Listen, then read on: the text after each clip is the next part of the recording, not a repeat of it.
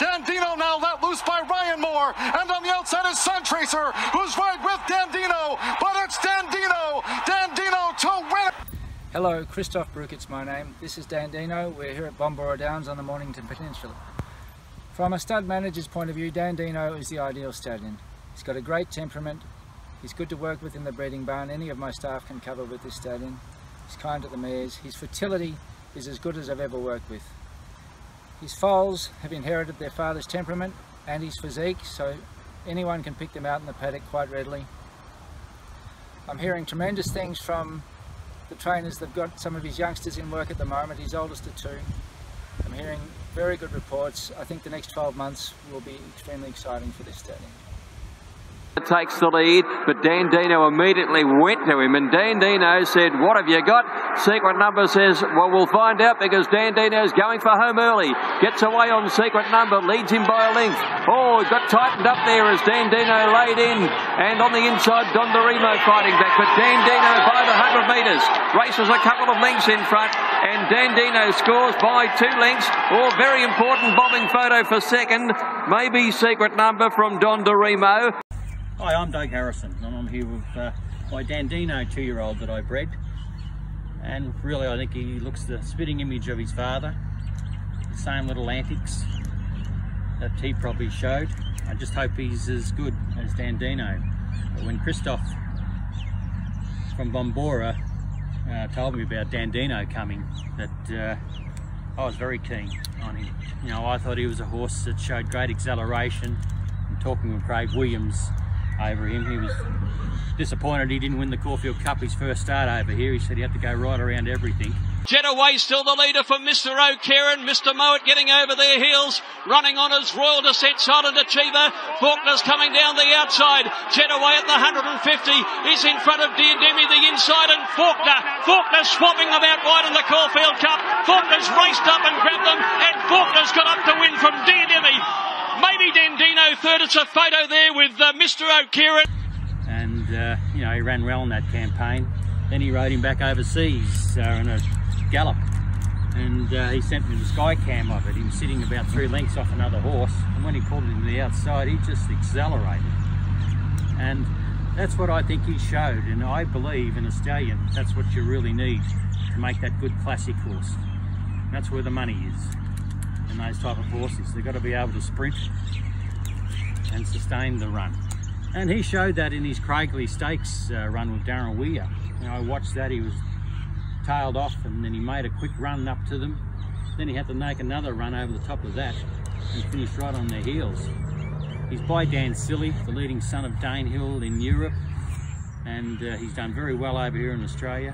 What I like about them, they've got a great temperament, the way they do things. Um, I've got two in work at the moment. They're great movers and uh, I think they've got a very bright future.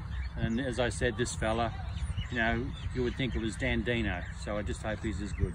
Pleased with his development. As you can see, he's filled out and he's, he's a nice style of staying two-year-old that's uh, going the right way for us, does everything right and start to build things up with him and have a few gallops and potentially get into a jump out this preparation. But uh, we're really pleased with him. Reckon he's a good style of horse and obviously of his pedigree, we'd be looking for him in the spring and not later on as the races get further. But uh, really pleased with how he's progressing.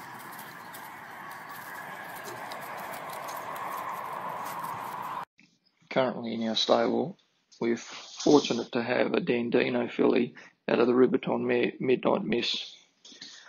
Well, there's a lot to like about this filly, but uh, I think what uh, does strike you uh, straight off when you see her that she, uh, type-wise, she resembles uh, Dandino uh, quite strikingly. If she was black, it, um, would be a very, very strong resemblance. Uh, she's heading in the right direction, this filly. We've uh, we've given her a light prep. I was very, very happy with what she did. Um, very competitive in nature, very sensible. You know, she's handled herself very well. Uh, she was good under pressure. She uh, did everything right in the stable, and uh, we're certainly looking forward to uh, getting her back in and uh, and seeing what she can do next preparation. She's probably a filly that's going to keep getting better with age, and uh, I don't doubt that uh, uh, with that she'll keep improving within herself. But uh, I couldn't be happier with her at this point. Um, you know, she's uh, done super in the stable. Certainly gives us the indication that she's probably going to be a mile plus filly, and uh, and she can be anything like a sire or partly of. we're going to have a very exciting time with her Paul Preusker, as a Victorian trainer. Um, just talking a, a, quick chat on uh, the Dan, filly that uh, I've had in my hands. Um, look, for me, a very professional uh, professional out, outfit, probably one of the better two-year-olds I've fought going forward for next year. Um, lovely, tough, mentally sound and uh, physically everything sort of held together and uh, looks looks quite promising. Um, to get it back and get the next uh, next prep into her is going to be really exciting for me to, to put a girth back on her again. Got a lot of hope for her. Uh, I, I, just love these tougher type horses that are mentally sound and switched off as well. You know, I think uh, going forward, they're, they're a breed I'll be chasing. Um, although I only have one in my hands, uh, but uh, when you see good things out of a filly like that, you certainly uh, there's there's more uh, more in the breed. So uh, anyway, guys, look forward to getting her to the races and expecting good things. Just here with Dandy, a dandy man. He's a, a, son of Dandino in our stable he's got a really good attitude towards his work. Uh, he, he, eats well, uh, takes all the work that we give him, and just showing a, a real um, little bit of um, natural talent towards the staying um, sort of. Uh, you know, he, he's taking that demeanour. He, eats well. He's really relaxed in his work, um, and as I said, takes all the work that we give him. Um, and he, he's sort of got up and, and, and had a pop out of the barriers as a two-year-old. So um, certainly been able to take a, a, good work early on in his career and um, look forward to seeing what he can do this preparation. Hi guys, um, I've been lucky enough to get one Dandino from ATB.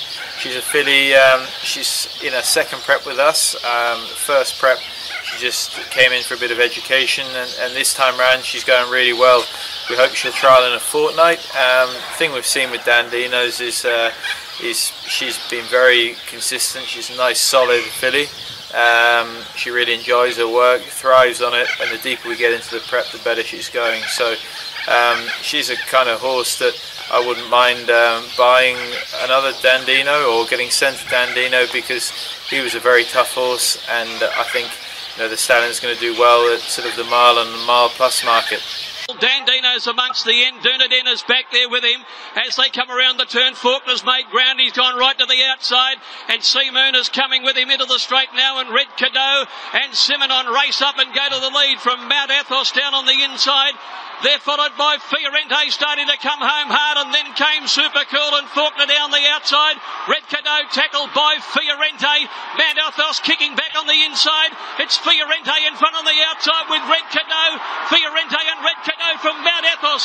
Fiorente just in front of Red Cadeau who's coming back. Fiorente by a neck. Oliver's lifting him. And Fiorente won the Melbourne Cup for Gai. Red Cadeau second, Mount Athos third. Simenon Red fourth and Dandino fifth. Dandino now let loose by Ryan Moore. And on the outside is Sun Tracer, who's right with Dandino. But it's Dandino. Dandino to win it from Jar third code of conduct was fourth. Dandino, Ryan Moore for Australian Thoroughbred Bloodstock and Marco Botti. They've won it again.